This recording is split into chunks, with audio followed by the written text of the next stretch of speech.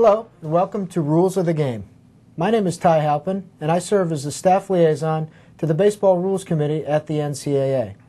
With me today is Jim Paronto, Secretary Rules Editor of the committee. The committee recently completed two days of meetings in Indianapolis and have several action items we'd like to discuss.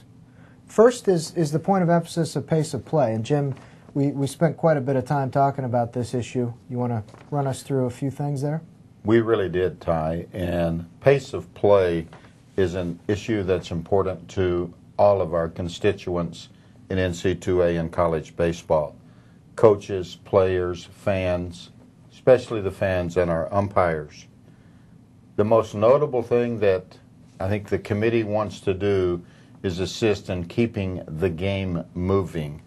And emphasis uh, was placed on the umpires in assisting in keeping it moving by enforcing the batter's box rule, and there is a prescribed 20 seconds between pitches with no one on base, and the committee felt like that we had not enforced that as we should have.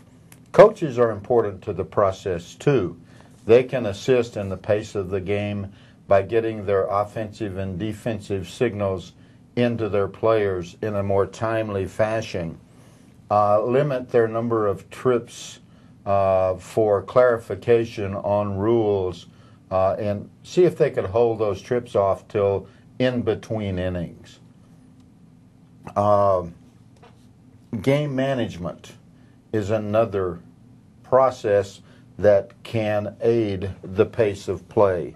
Uh, setting time limits on the entrance music that players have uh, prior to each at bat, uh, keeping the uh, keeping the players in the batter's box. The umpires are going to have the most control in uh, limiting or increasing the pace of play and keeping the game flowing. So really, we're looking at trying to trying to eliminate some of that dead time that is there that no nobody really loves about baseball. That's right. And if each each area can contribute um, three to five minutes of save time, then we've shortened our game times down to around three minutes. I think it was 318. Three hours, yeah. In the World Series. Yep. And there are games across the country that stretch a lot longer than that during the regular season. And it's difficult for a fan to sit there for four and a, four, four and a half hours watching a ball game. Good. Thanks, Jim.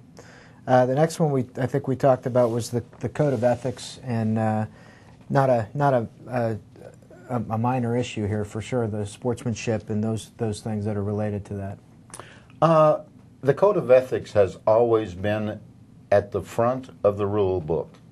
Uh, the committee was made aware of some acts specifically designed to attempt to gain an advantage outside the rules it, it's not a widespread problem, but the actions, you know, they appear to be orchestrated to give one team an advantage over another. So the coaches are, or the committee is asking the coaches for their assistance in the review of the code of ethics, in the adherence to the code of ethics with their players and their assistant coaches. Great. We, we also talked uh, a bit about celebrations, and, and uh, that's a, a, a, part of baseball we love, and uh, uh, college baseball specifically. But there are some, some issues with, with uh, teams coming out of the dugout to celebrate. We talked through that.